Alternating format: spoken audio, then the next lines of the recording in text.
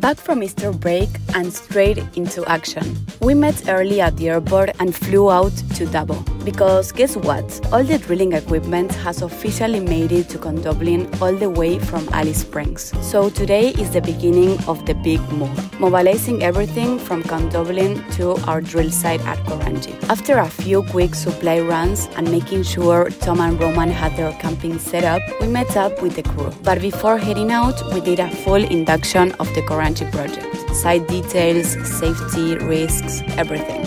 Then it was go time. We drove in convoy with the rig and our truck full of gear.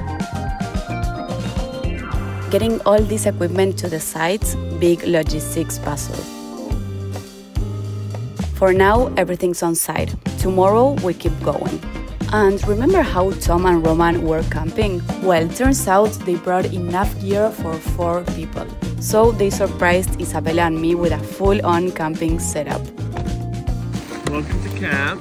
We're really lucky. We have, you know, we're normally booked out all year round, but Last minute reservation, great. I'm super happy with our last minute reservation. Yeah. we have we have everything for you guys. It's just just wait for a moment. We're gonna have.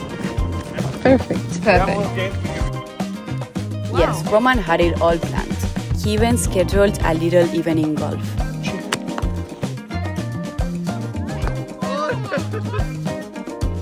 and of course, barbecue dinner, a classic. It was a big day, and it's only just getting started. More mobilizing tomorrow.